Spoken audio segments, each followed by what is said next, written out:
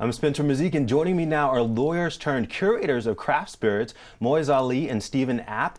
They are the founders of Caskers, a website that curates, markets, and makes available for sale craft spirits. Welcome, gentlemen. Thank you for joining us. Thanks for Thank having you. us. So, tell us about Caskers. What can people expect to find when they visit the website?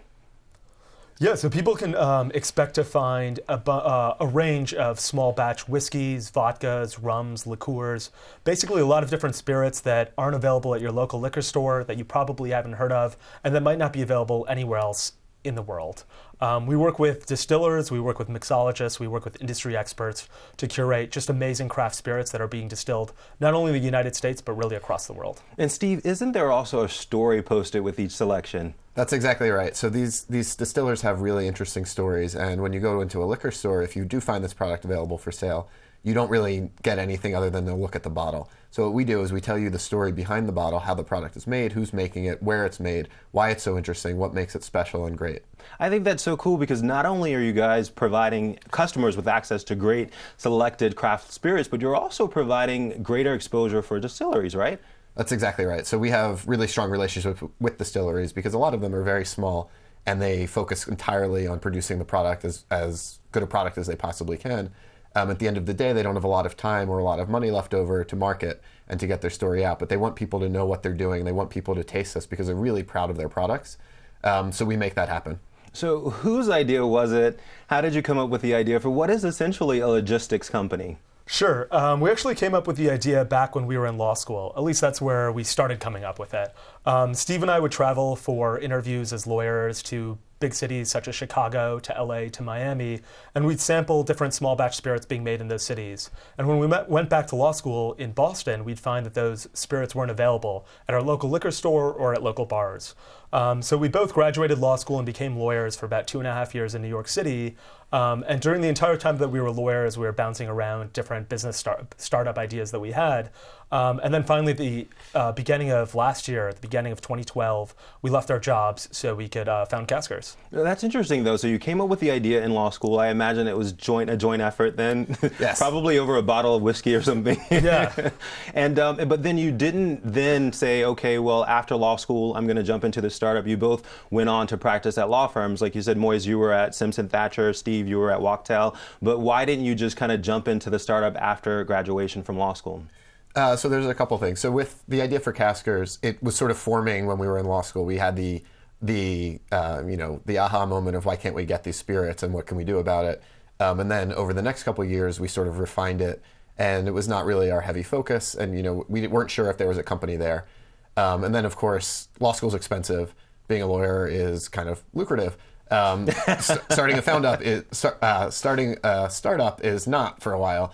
Um, so we wanted to save some money so that we could have um, something to fall back on, and also um, have the money to start this to start Caskers. Um, so after about two and a half years, we thought this was the time, now or never. Let's do it. And I have to ask you, at the time that you left the law firm, did either of you had to worry about repaying any student loans? Yeah. Um, yeah, absolutely. Okay, so but that that was a concern, but you still thought, okay, let me make the leap anyway. Yeah, absolutely. Um, it was now or never. We were young, we were single, we um, didn't have many major expenses. We didn't have a mortgage or a family to support. So we knew that it was uh, the perfect time to start a startup in our lives if we were ever going to do it. And um, I think both of us knew that we wanted to be entrepreneurs and not lawyers, probably back in law school even. Um, but there was the inertia pushing us to finish law school and then the inertia pushing us to New York to become lawyers. And finally, after two and a half years, we had had enough and had summoned the, or were able to summon the courage to leave our jobs. What about your family and friends? Were they supportive at first, or did they think you guys were crazy, Steve? Uh, our friends. To a, to a person were very very supportive and often jealous. Um, so when they're when they're that. working at the office at two in the morning on you know a doc review or something, we'll frequently get emails saying you guys are the smartest people. um, my uh, our families I think were generally supportive as well. Uh, my dad's a lawyer, so it was a bit uh, it was a bit of a shock to him at first. Um, but as they see how we're doing, they're they're all happy for us, and they know that we um, we work just as hard as we worked as lawyers, but we have a lot more control over our lives, and we're working for ourselves, and they see that it makes us a lot happier. Um, so I, I think, at least on my side, I was going to say, everybody's Moiz, happy. how about for you? Yeah, I come from a family of entrepreneurs. Um, my parents have been entrepreneurs their entire lives. My brother was at Microsoft for about two years, and he left to start his own startup in San Francisco. So when I was a lawyer, they were actually pushing me to quit, asking why I was still there for two and a half years. So actually, they were they were incredibly supportive of me leaving my legal job. All right, so it hasn't been a year since you launched Caskers in June 2012, but uh, you guys have already seemed to generate over a million dollars in revenue. So can you break it down for us and tell us how do you generate revenue? Yeah, so it starts obviously with having really good products. So we get great products and feature them, um, and just generating new users every day is obviously the key to, to continued growth.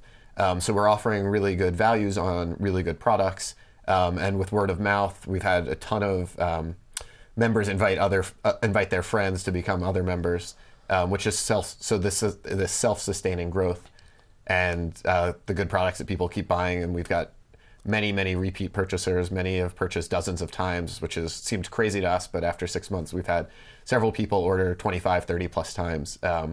So the revenue fo- the revenue follows from that. But so do you get a cut of the the proceeds from the sale, or, or do the members pay a membership? I mean, how do you generate revenue? So membership is completely free, and it'll always be free. Um, the reason that we started a membership site was um, because we wanted to make sure that we had enough inventory um, as we were inviting new members into into uh, onto Caskers. So small batch spirits, by definition, are made in small quantities. So if we had a million members on day one, and these small these small batch spirits were only making a few bottles, cells we would quickly run out of inventory. Um, so we wanted to create a membership site to make sure that we could control the ebbs and flows of our inventory, um, especially at the beginning when we really didn't know how it was going to work out. Now that we've been around for about a year, we're going to open up our site to a lot more people. Um, and but but but going back to the revenue question, revenue uh, membership is free, but we take a cut from each sale, just like an ordinary retailer would. And I, I say you say inventory though, but I mean, you guys also haven't like some startups. You haven't sought any funding, um, and is that because you actually don't keep the inventory? That's right. We don't keep any inventory. Um, we haven't we haven't found a need for funding yet, just because our overhead is incredibly low, and we've been able to generate such significant revenue so quickly. Um, that said, we think we will raise a round um, in the future, simply so we can do more u- uh, user acquisition, um, expand our team quickly, and just try and scale the company as quickly as possible. So tell me about this membership by invitation only thing. Was that done to create hype, buzz, or prestige? You mentioned a little bit of, about it earlier in terms of controlling the number of folks, but is that the real reason? Yeah, absolutely. Like uh, when we launched originally, we um, the first day that we launched, we ended up getting about two or three thousand members, um, and at that time we didn't, we totally didn't expect uh, that that much demand on the consumer side. And at the time, we uh, had worked with our fulfillers, and they had allocated about fifty bottles of different products to us. On day one, we basically sold out of everything as soon as we got these two or three thousand members, and then we realized, okay, we've got a significant problem here. We have to make sure that we can get products where there's a significant amount of inventory, and we have to control our membership inflow. So we created this invitation system to make sure that we could always have that control. Um, but as we've had more experience doing this now, we've almost been doing it for about eight months now.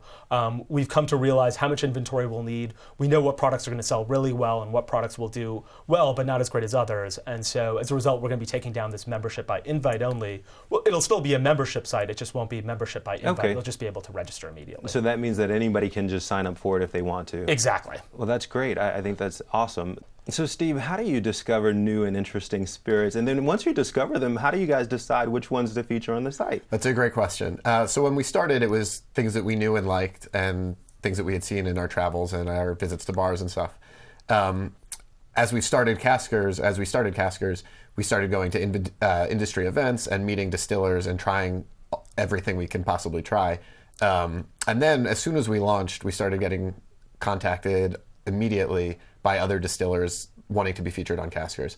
So we talk with them, we work with them, we sample their products, and then it's just a question of value and and taste. So if it's a product that we really like at a compelling value to our users, to our members rather, we'll feature it. If it's not, then we're not going to feature it. It sounds like you guys taste everything, so that must make for a very interesting work environment.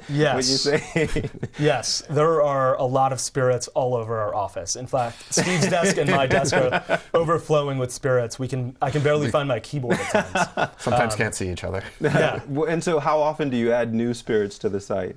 on, a, on a daily basis, yeah. Do you guys service all of America, every state, or are there some states that are left out because of their restrictive shipping laws? Yeah, we service uh, generally between 40 and 45 states.